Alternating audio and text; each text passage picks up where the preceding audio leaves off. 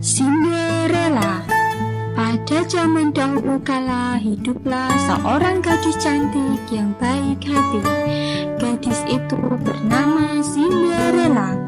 Kebaikan hatinya membuat semua orang menyayanginya Bahkan hewan-hewan menyayanginya juga Terutama dua sahabatnya Gus dan Jack.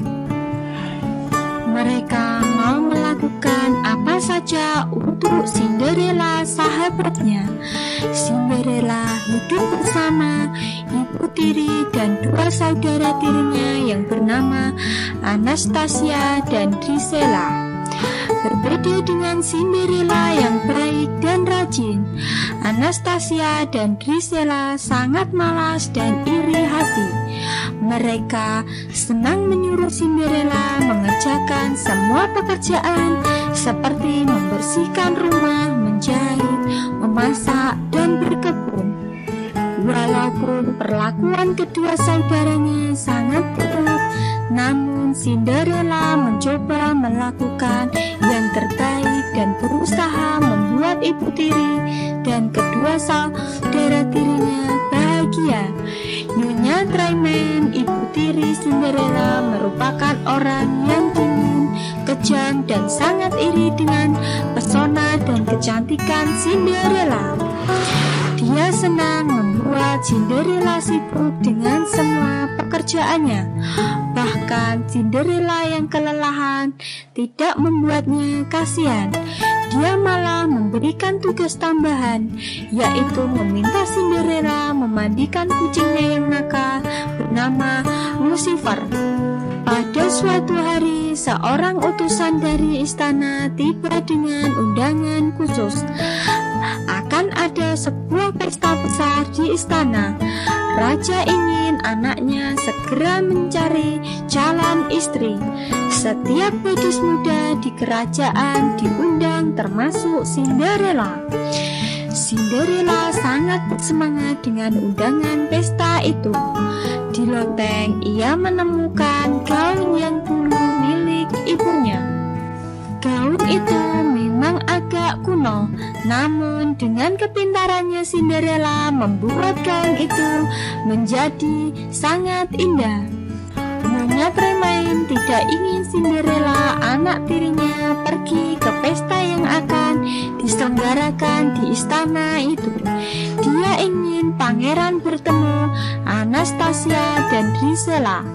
Dia sangat berharap pangeran akan menikahi salah satu dari kedua anaknya. Nyonya Tremaine terus memberikan Cinderella pekerjaan yang sangat banyak.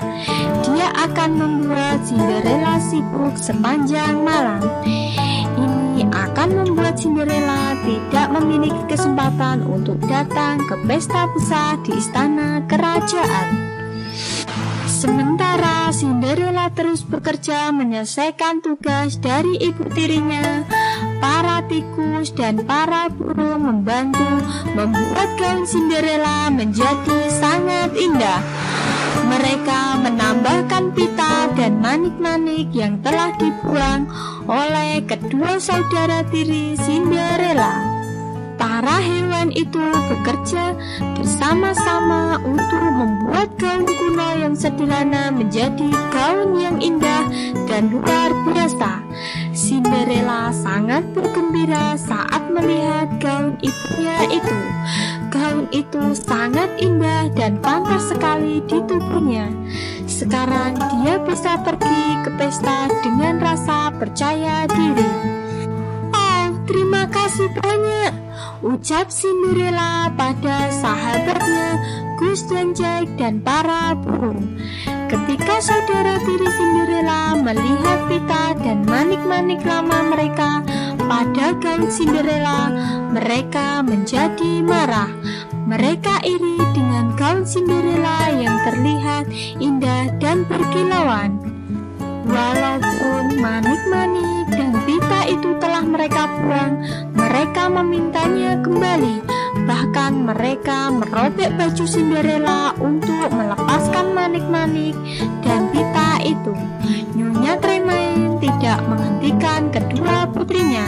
Dia pun iri karena Cinderella terlihat sangat cantik dan menawan menggunakan gaun lama itu. Sambil tertawa, kedua saudara tirinya pergi meninggalkan Cinderella. Mimpi Cinderella pergi ke istana Sirna. Tidak cukup waktu baginya untuk bisa pergi ke istana. Cinderella lari ke kebun dan menangis. Pada saat itu, tiba-tiba datanglah ibu peri. Dengan tongkat ajaibnya, dia merubah labu menjadi kereta kuda yang sangat indah. Cinderella sekarang bisa pergi ke pesta, namun masih ada satu masalah. Gaun Cinderella telah rusak dan tidak bisa dipakai. Ucap ibu peri sambil melambaikan tongkatnya kembali. Ajaib, Cinderella sekarang mengenakan gaun yang indah dan sepatu kaca yang berkilauan. Namun ibu peri mengingatkan pada saat jam berdentang pukul 12 malam tepat mantra sihir akan sirna. Di pesta sang pangeran tampan tidak bisa melepaskan pandangan matanya dari Cinderella yang terlihat luar biasa cantik dan menawan. Tidak menyia-nyiakan kesempatan, segera mengajak Cinderella berdansa. Orkestra dimainkan dan pangeran mulai menari dengan gadis cantik yang namanya dia masih tidak tahu. Dan bagi Cinderella, malam itu mimpinya menjadi kenyataan. Waktu mulai berlalu, jam mulai mendekati waktu tengah malam. Selamat tinggal, ucap Cinderella dan kemudian bergegas pergi. Tunggu, panggil pangeran.